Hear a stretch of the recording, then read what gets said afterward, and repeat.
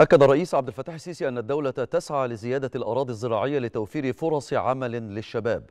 ولفت الرئيس السيسي إلى أنه يقدر حجم المعاناة التي تواجهها الأسرة المصرية في مواجهة الأعباء المعيشية التي نتجت عن الآثار الاقتصادية. الناجمة عن الأزمة الاقتصادية المركبة التي خلفتها جائحة كورونا وضاعفتها الأزمة الأوكرانية. موقف المصريين مقدر قوي والله. يعني أنا بقول لكم إن تحملكم ده في جبر خاطر كبير قوي ليا أنا شخصيا. في جبر خاطر كبير جدا. وأنا ما بقولش كلام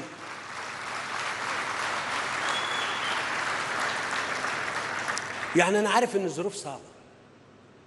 عارف يعني. وعارف إن الناس تبقى مستحملة وساكتة. ده كتير.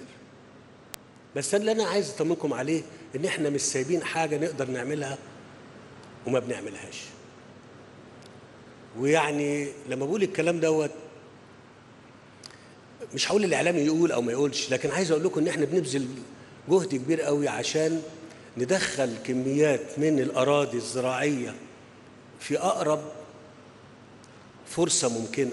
إحنا بنتكلم في 3 4 مليون فدان خلال سنتين ثلاثة سنتين ثلاثة إحنا بدأنا البرنامج ده من حوالي ثلاث سنين غير طبعا برنامج الريف المصري اللي كان تقريبا مليون ونص فدان. لكن إحنا ما سكتناش على كده. واشتغلنا أيضا عشان ندخل أو يبقى في أراضي زراعية أخرى.